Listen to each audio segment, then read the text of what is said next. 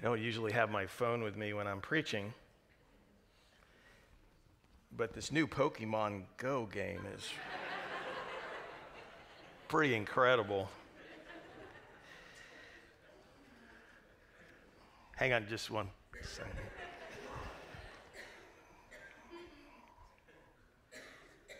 Yes. All right. See if I can stay away from that for a few minutes. Um, this morning, the message is um, about time, actually, strange as that may seem. Um, if you are into Pokemon Go, you know that this is transforming the United States of America. I mean, it really is. I mean, it's just incredible what is happening um, with this, this whole Pokemon thing. And, and it's just amazing how much time is being spent, how many resources are being spent. And I have to laugh because as I look at the statistics about Pokemon Go, I see that with regard to Pokemon Go, there's actually some good things that are happening because of it. Um, I'm amazed, though, that during the time period from just June to July, uh, how this, this whole game has really expanded. Uh, it started off, there was about the vast majority were teenagers who were playing it, but, but actually now things have morphed into uh, just a general I tell you what, the only people that aren't playing it are my age people. Seriously. I mean, this, this is true. Uh, the millennials, the, they're the biggest group that are playing. And so if you're in your early 30s, you probably are pretty much addicted to this right now. Uh, the interesting thing is that people over the age of 65, I'm not there yet, um, but you're playing it too. And uh, it is encompassing uh, tremendous amounts of people. There was a, a news show that was on TV, and they were out on the streets of New York City, and they were interviewing people that are playing the Pokemon game. And literally, people are walking past them and they've got the cameras there and they don't have time to talk to them. And they're asking people that they can finally capture, well, what do you think? You know, uh, how much time do you spend? One girl said, I just started playing three days ago. She says, I've played it about 30 to 40 hours. Another girl was standing there. She had an arm and a cast. And he said, Did you get that? Playing Pokemon Go. And because people are walking into buildings, they're so focused on this. Uh, and it's taking them, it, it's kind of the real live thing with these little Pokemon things. And you've got to, you know, gobble them up. And, and uh, it's, it's pretty intense. But stop and consider with me how the average player is spending two or more hours a day playing Pokemon Go than they did previously playing games. Two hours more than what they were previously playing. 16% of those surveyed play the game for more than four hours a day. Can you imagine? That's a serious time commitment that people are making. But as I mentioned, it's not all bad, although there are some things that are fairly negative. Over 10% say they have trespassed in order to catch one of those rascally Pokemons. Uh, 4% also said they'd been pulled over by the police while they were playing the game. The average amount, however, on a good side of weight loss is 3.2 pounds since they've started playing. It actually gets them outside. 44% of these trainers said that they'd visit a historical landmark uh, for the first time because they're playing this game. And get this one, this is my favorite. 24% of Pokemon players said that they visit, visited a religious institution for the first time. So it's got them into churches like ours. So if you see someone walking around with a, with a phone today, gobbling up Pokemons or whatever they do with these things, um, here in our auditorium, just count your blessings and hope they stay for the service. All right? 24%. That's getting them into church. Many of them are embarrassed, however, to tell their families or their bosses that they play Pokemon. And here's the scary one up to 85% of trainers have played Pokemon Go while driving their car. Well, this morning we're going to talk about time. And if you have a need for a Bible, these fine gentlemen would love to put one in your hands. We are on a mini series talking about multiplying your life. Last Sunday we looked at multiplying your life through uh, service, and we talked about the importance of serving the Lord. And we were in Second uh, or First Peter chapter four, and today we're talking about multiplying your life through redeeming the time, multiplying your life through redeeming the time.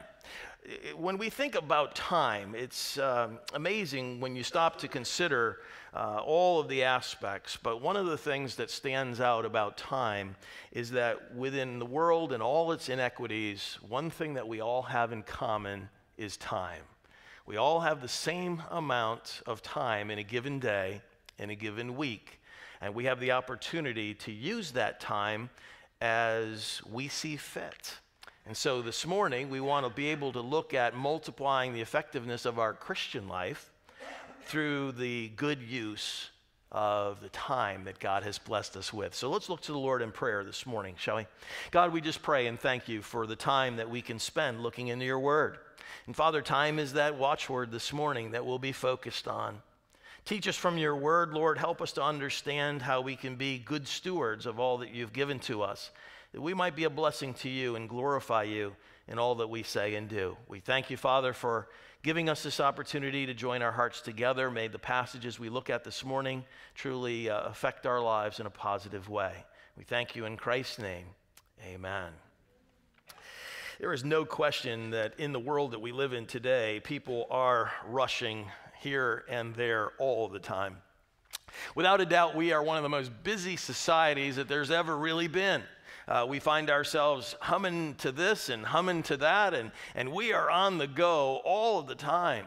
Uh, when you talk to people today and the, the, replies that you get when you say, How are you doing? Most people will say, Oh, doing good. I'm, I'm really busy. And oftentimes I will say the same thing. The interesting thing is, I was reading uh, some articles that were written about time management, especially applied to Christians. And they said that Christians are actually worse off than a lot of other people in society today when it comes to our busyness.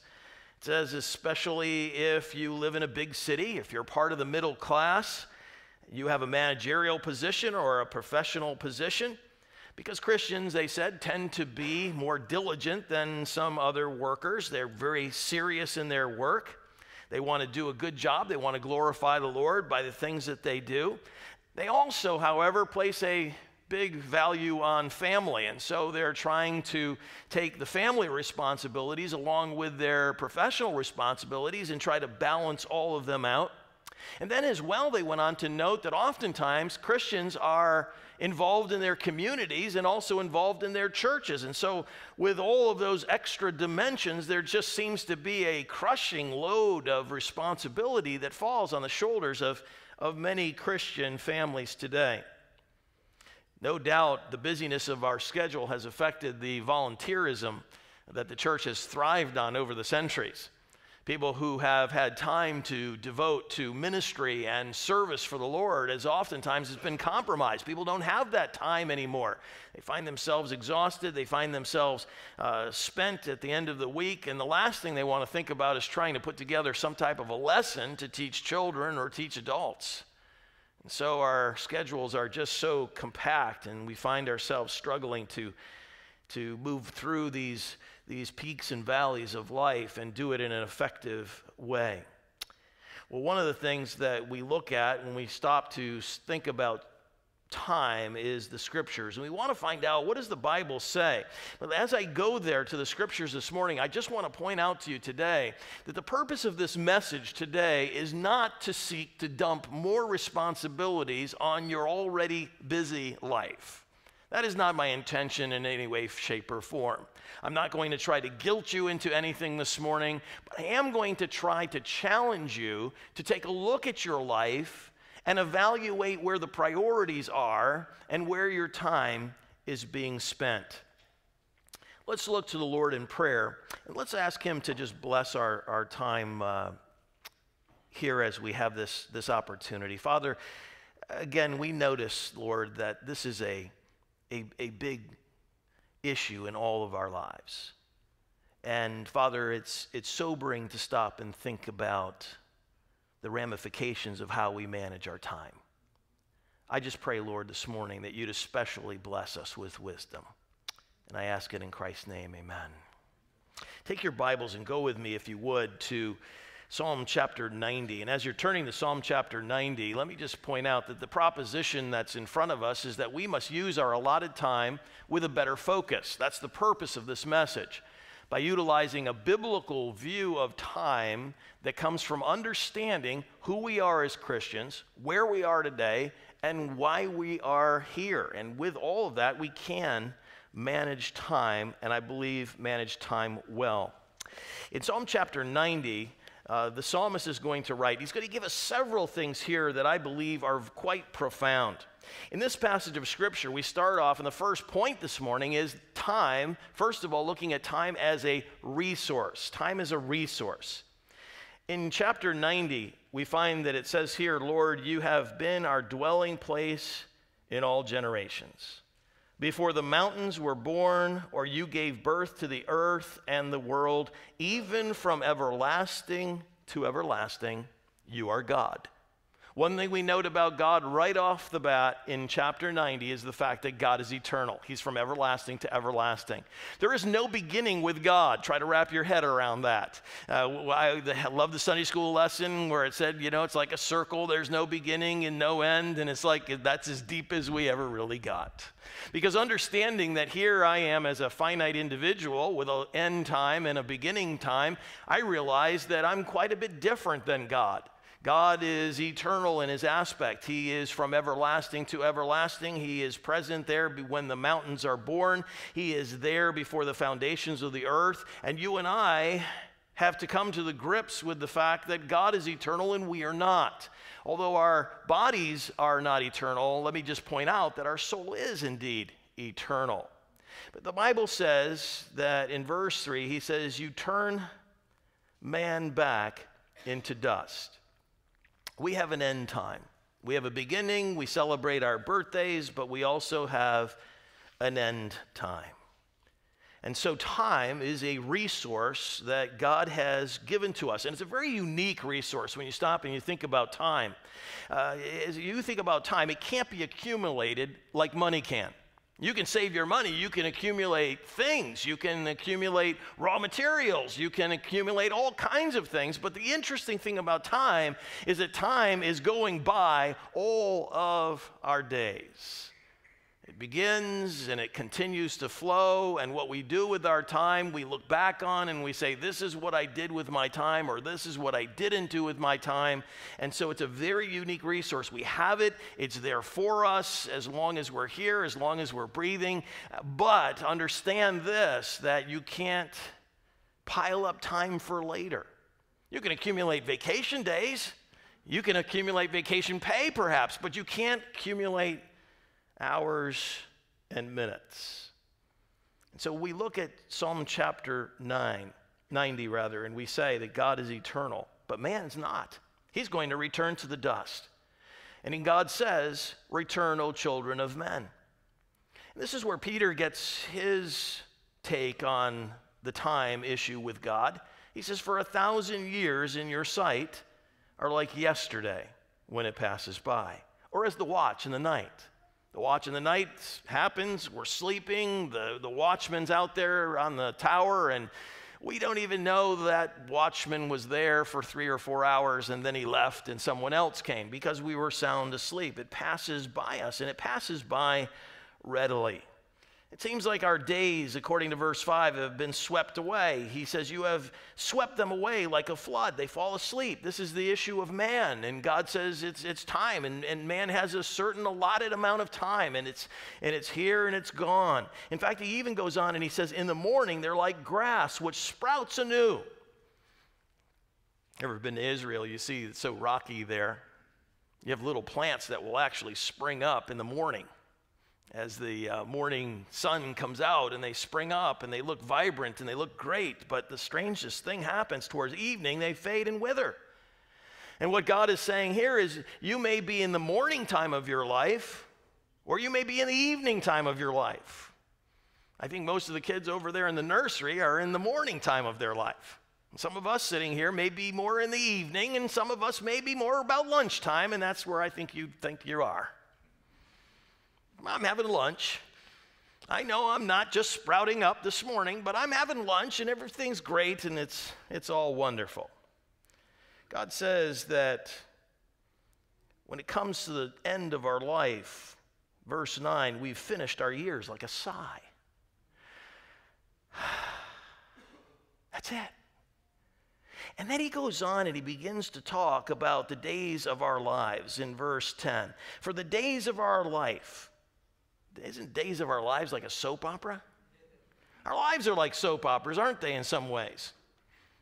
It's amazing. Your life comes, your life goes, and he says the days of our life, uh, they contain, he says, 70 years. So teach us, he says, verse 12, to number our days.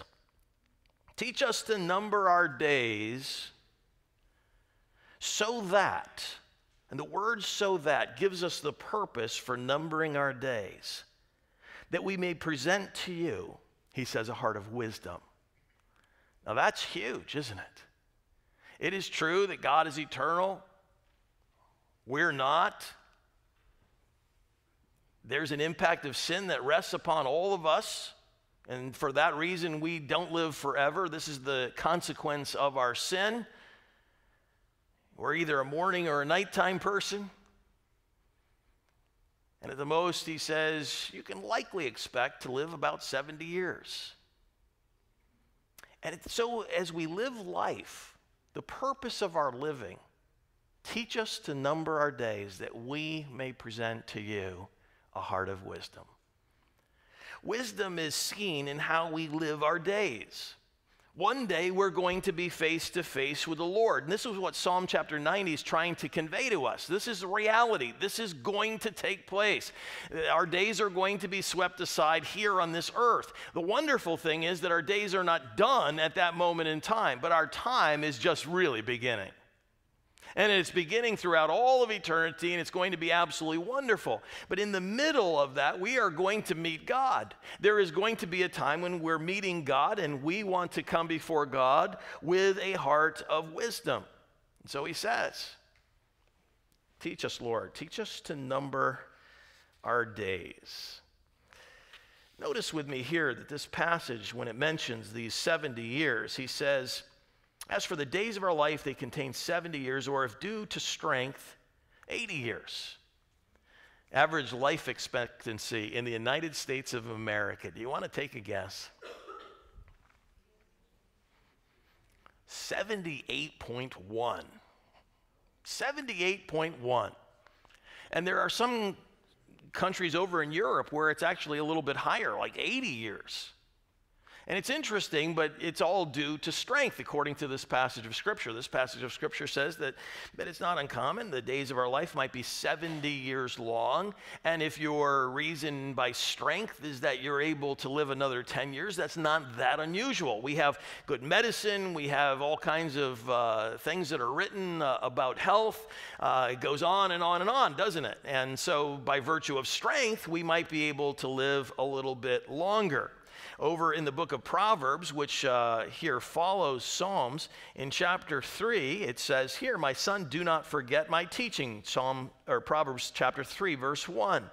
But let your heart, he says, keep my commandments. Why is it important to keep God's commandments? Well, there's a number of reasons that it's important to keep God's commandments.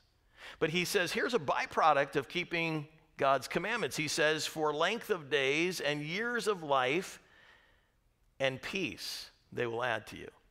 So, by keeping the commandments of God, we can possibly add length and days to our life. But that's not always the case, is it? It's not always the case. The preacher that I was listening to this morning as I drove into church was amazing to me this day because he was talking about prolonging our days. And he talked about the whole exercise craze. And the interesting thing is, he'd read the books and he was out running, and, and so he's a, a, regular, you know, runner, and he's trying to make sure. He says, I read all these books about your health and so forth, and he says, I, I, I read that if I go out there and I run and I eat right, I, I won't die of a heart attack. And I thought, wow. As I'm listening to an old tape of this preacher, I'm reminded that he didn't die of a heart attack, but he died very young as uh, from cancer. Teach us, Lord. Teach us to number our days. You see, with God, there's no mistakes. God knows our beginning, God knows our end. And it's important for us to stop and to think. Well, I got thinking about this whole thing with 70 years. And I got thinking about it from the standpoint of, of what does that really look like? with regard to time. And I thought, you know, it, it's good to be able to take a, a little, uh, a, one of those countdown meters. You see the seconds going by at the bottom? Well, there's 4,102 days. And that comes out to 98,462 hours. And so forth, the minutes, and so forth, the seconds. It's actually 11 years and two months. So, in 11 years and two months, you say, well, what's this a countdown to, Pastor Kevin? It's a countdown to the day I turn 70. I looked at that and I thought, wow, I have 11 years according to Psalm chapter 90. Maybe by measure of strength, there'll be more, but maybe not. Maybe there'll be even less. And I stopped to think about that 11 years, 11 Christmases, 11 Fourth of Julys, 11 more birthdays, celebrating birthdays with my wife, my kids, and so forth as the opportunity happens. 11 more starts to baseball season.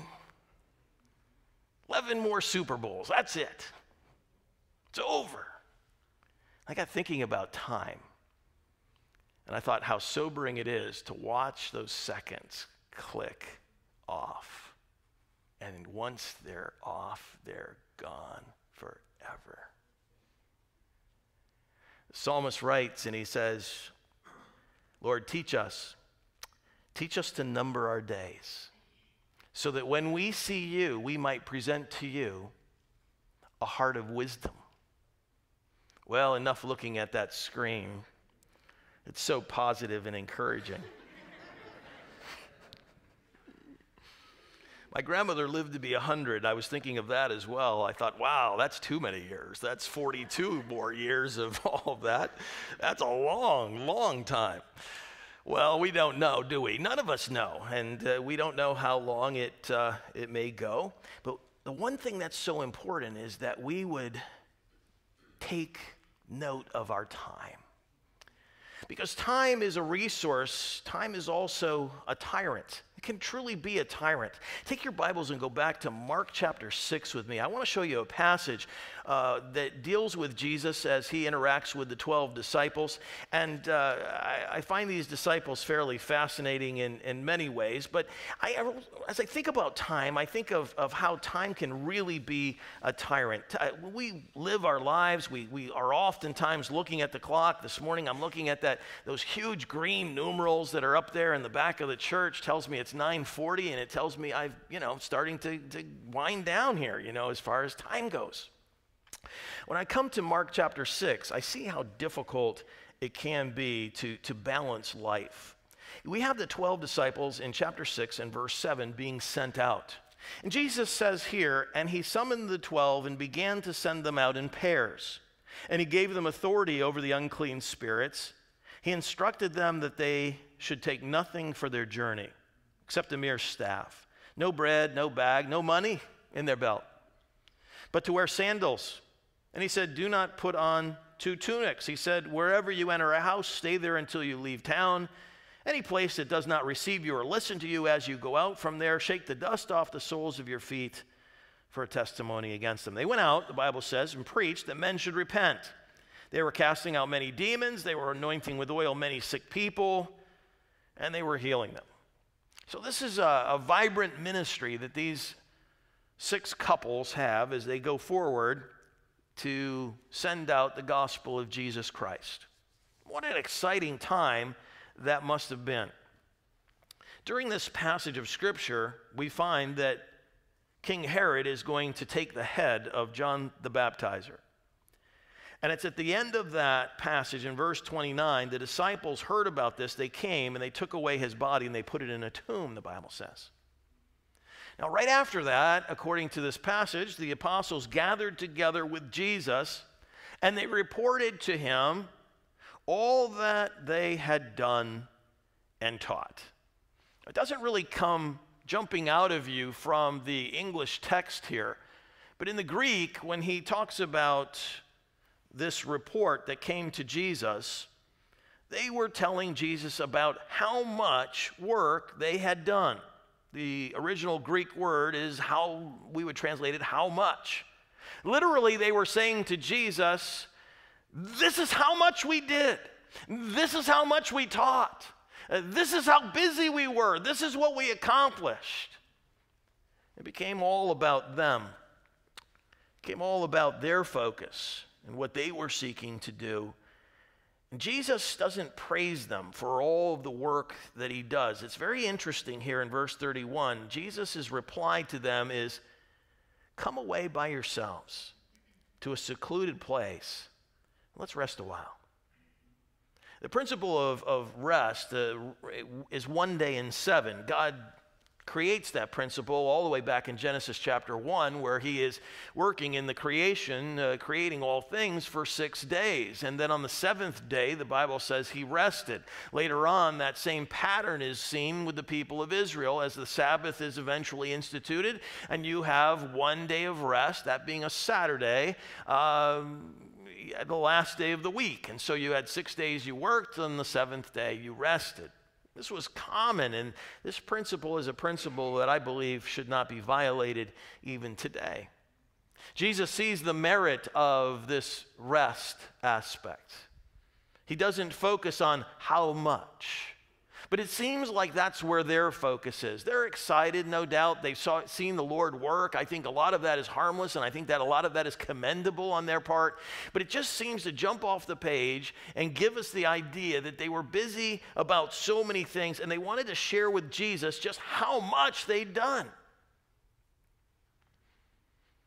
You see, the problem is in our society today, being busy is really viewed as a measure of success, isn't it? Being busy is you're, you're kind of successful. I came across an article that, that laid these things out that I thought were very true, and I just wanted to repeat them for us today. People today oftentimes stay too busy because of, number one, our egos. Our egos. We want to appear important. Uh, we're, in, we're in such demand that we must be successful. So we tend to overload our schedules. There are people that want to appear important. Remember how it was when this was transitioning? Those of you who are a little bit more towards evening? Do you remember when this was transitioning? I remember when, when Palm Pilots came out, right? And I remember when, when people had Blackberries and they were like super busy and super important. And I remember some of the old days. I remember the old days when, when people would get up in the morning and, and uh, you know, old down on Cape Cod, it was kind of like if you got there, you got there, you know. They'd tell you, we're going to come. I remember when we built our house on Cape Cod as a kid, I remember my dad saying, they'll tell you they're going to be there today. It means they're going to be there within two weeks because they were just kind of laid back. You know, you kind of get up and you just kind of, you know, you know, it's too nice of a day. I think I'm going clamming. And, and, and, things just were that way. I mean, it was just a different way of life. And as technology increased and, and people began to become uh, more driven towards material things, you could see that the, the egos became enormous. And it all became about how busy you are. Remember being at a pastor's conference. I've never been so turned off at a pastor's conference uh, than this one year that I was listening to this pastor preach. And at the end, he said, closed up his Bible. He said, Well, he said, you know, I'd love to be able to hang around and fellowship with you guys, but I am so busy. He says, I've got to get to the airport and get flying off to my next speaking engagement.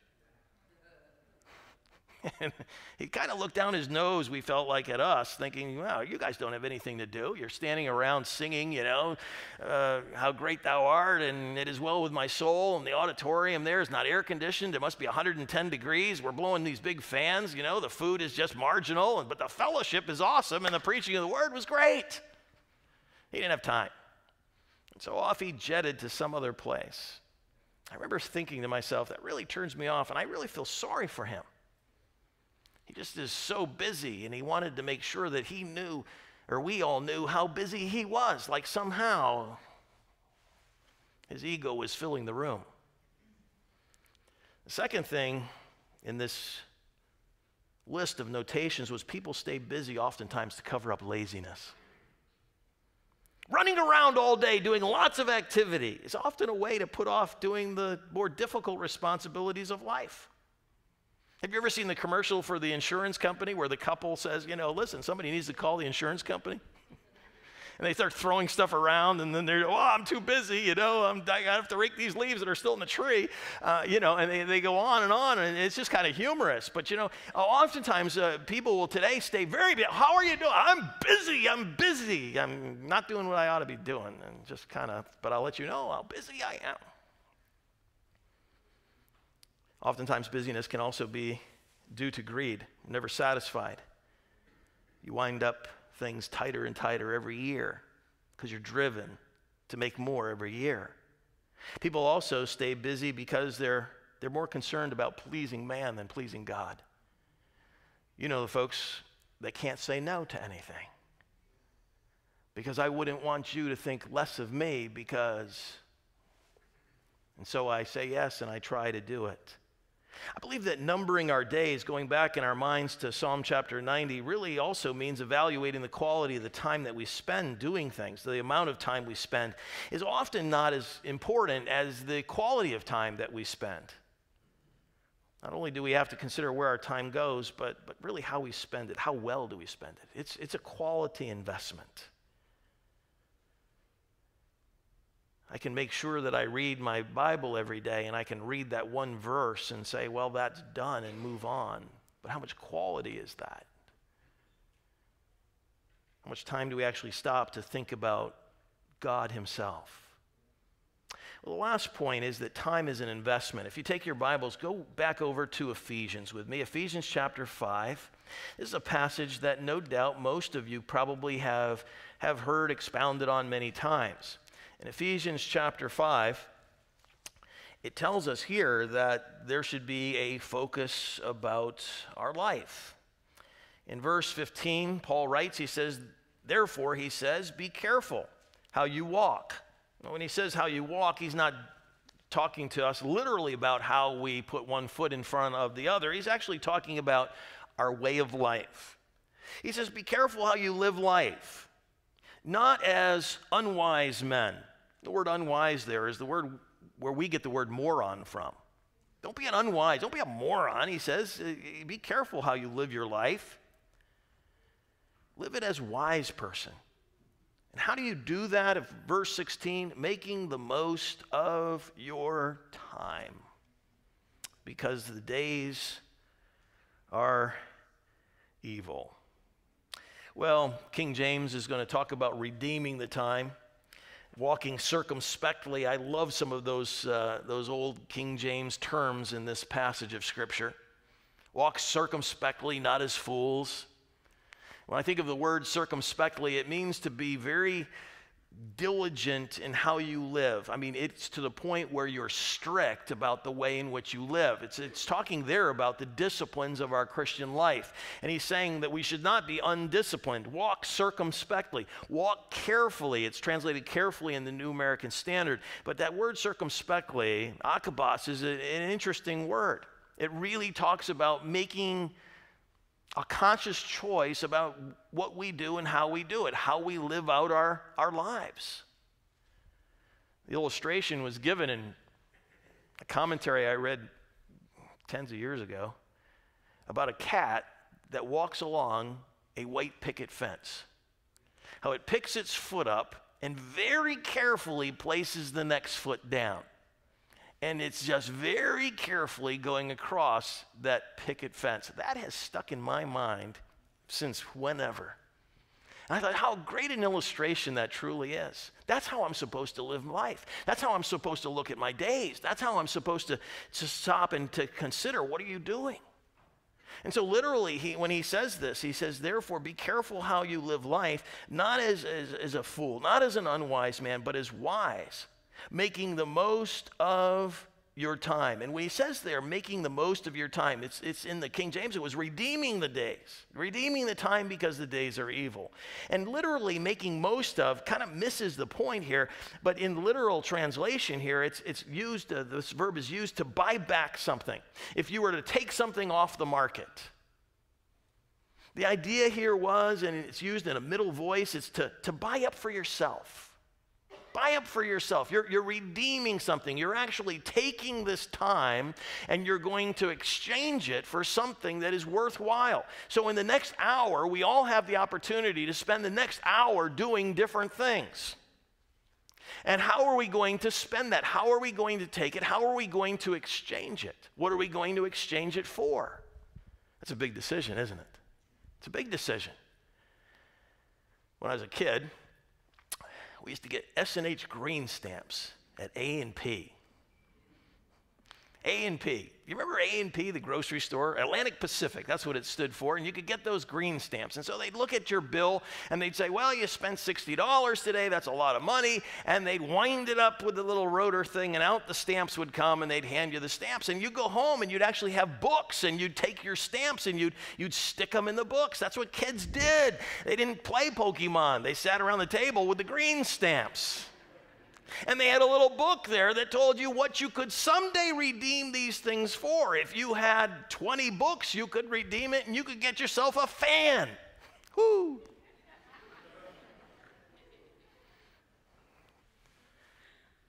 So you were very careful. Do you want something small or do you want to keep gathering these things up and then redeeming them for something precious? So you could buy back for yourself with those green stamps something that was quite valuable. I remember we got a green hassock. What a waste of green stamps. There were all kinds of fine toys that I could have amused myself with, and this green hammock was just a little thing. It wasn't even very big at all. I wondered what in the world my parents were thinking. Besides, the green was terrible looking. That pea green, ugh. You have to be careful how you buy back. You see, that's what Paul is trying to say. Don't, don't be as an unwise person. Don't, don't be as one whose, whose mental processes aren't clicking. It would be foolish for you to trade that in and get something that wasn't worthwhile. And so, in the next hour and the next day, you're going to make choices on how you're going to exchange the time that God has given to you as a resource and how you're going to use it. We need to be careful with that because we only have so much time. Some of you are here today and you're incredibly busy. You're so busy, there really isn't much time for much.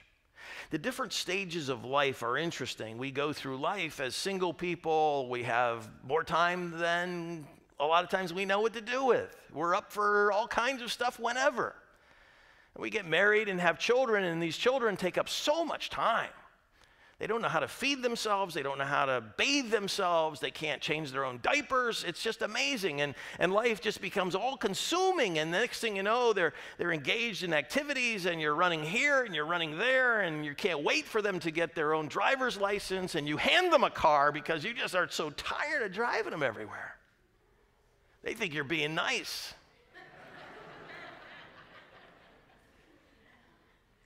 Teach us to number our days. We go through these seasons of life where there's busyness, and you may be sitting there thinking to yourself, I can't wait till I retire so I don't have to number my days anymore. Do you know?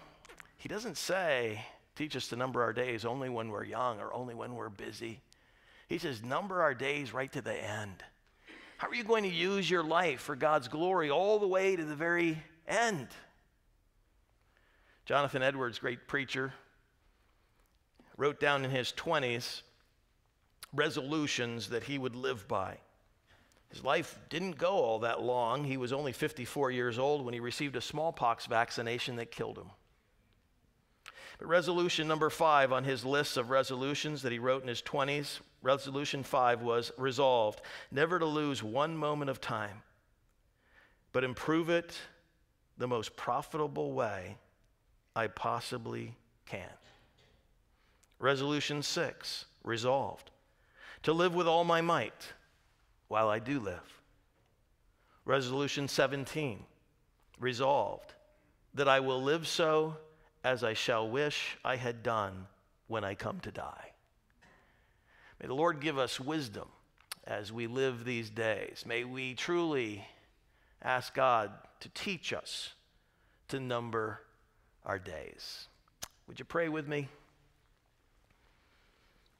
As we take a moment to bow our hearts before the Lord,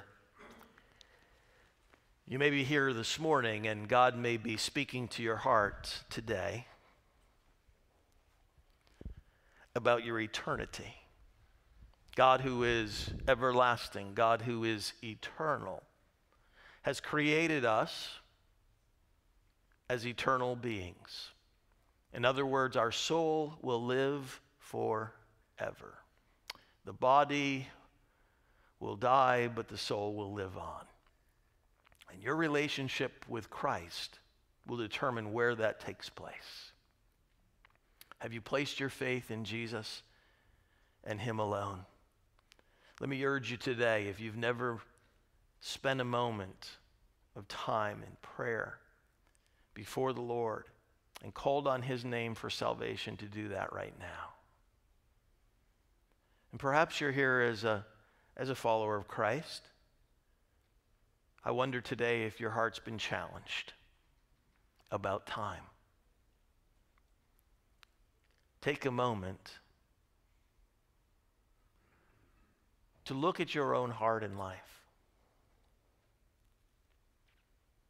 and ask Am I managing it well? May God teach us all to number our days. Father, we thank you and praise you that you're willing, Lord, to show us the importance of the resource of time. Help us, Lord, to have in our hearts the same resolve that this pastor had years and years ago, redeeming the time. Because, Lord, we know that the days are evil. And, Father, there is much for us to do. Help us, Lord, to live effectively for you. Help us, Lord, to take time. Maybe it's time to just get away from it all and to seek your face. Help us, Lord, not to be ashamed in the world in which we live that is so motivated by success, to take a step back and spend time with you. Lord, help us not to become slaves to the tyrant of time. But help us, Lord, to use it for your honor and for your glory. In Jesus' name, I pray, amen. In 1 Corinthians chapter 11, we read here the words of the Apostle Paul, who draws us to the Lord's Supper. And Paul says in verse 23 For I received from the Lord that which I also delivered to you that the Lord Jesus, in the night in which he was betrayed, took bread, and when he had given thanks, he broke it and said, This is my body, which is for you. Do this in remembrance of me. In the same manner, he took the cup and supped, saying, This cup is a new covenant in my blood. Do this as often as you drink it in remembrance of me. For as often as you eat this bread and drink the cup, you proclaim the Lord's death until he comes. This morning, we declare our faith in Christ. We declare that we have a relationship with Jesus Christ as our Savior. I love it here when he says, Do this in remembrance of me. How much time do we spend remembering what Jesus Christ has done for us on the cross? How often we take it for granted and we just roll on. Let's just pause by bowing our heads and using this time to remember what God has done in our life. The communion elements, the bread and the cup, representing the body and blood of Christ, are for everyone who is a follower of Jesus Christ. If you're here this morning and you're not certain of your own personal relationship with Jesus Christ, I would hold off from taking this because of the warning in this passage that tells us to be careful. This is uniquely for the body of Christ.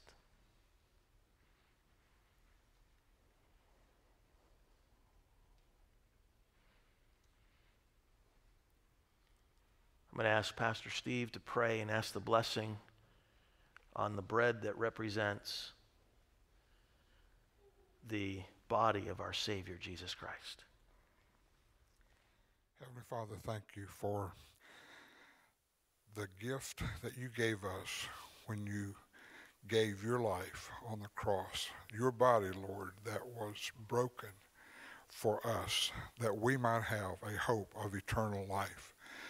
Lord, as we pause to remember that sacrifice, may we rededicate anew, Lord, our lives to you, and that we might do everything in our power to reflect the glory that you have given us, Lord, back to those around us, that they can see you in us.